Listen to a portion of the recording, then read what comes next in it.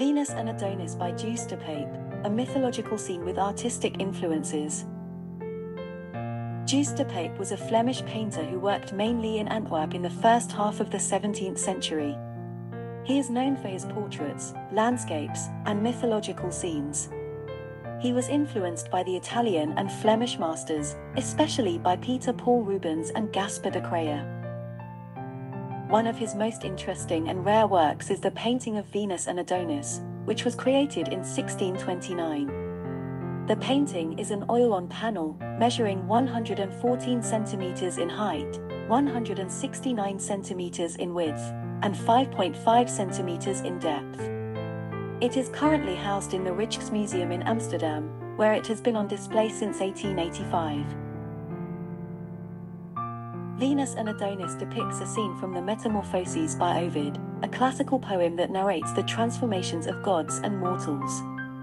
The story tells how Venus, the goddess of love, fell in love with Adonis, a handsome mortal, who was the son of Myrrha and her own father, King Cinyras. Venus warned Adonis not to hunt dangerous animals, but he did not listen to her. He was fatally wounded by a wild boar, and Venus mourned his death. In De Pape's painting, Venus and Adonis are shown in a tender embrace, unaware of the impending tragedy. Venus wears a blue cloak and a red dress, the colors of love and passion.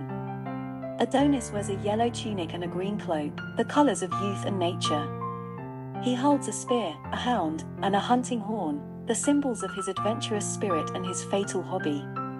A Cupid, the son of Venus and the god of love, is absent from the painting, unlike in most depictions of the story.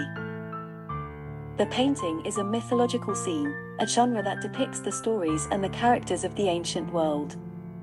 The painting also has symbolic meanings, as it represents the themes of love and death, of beauty and violence, and of fate and free will.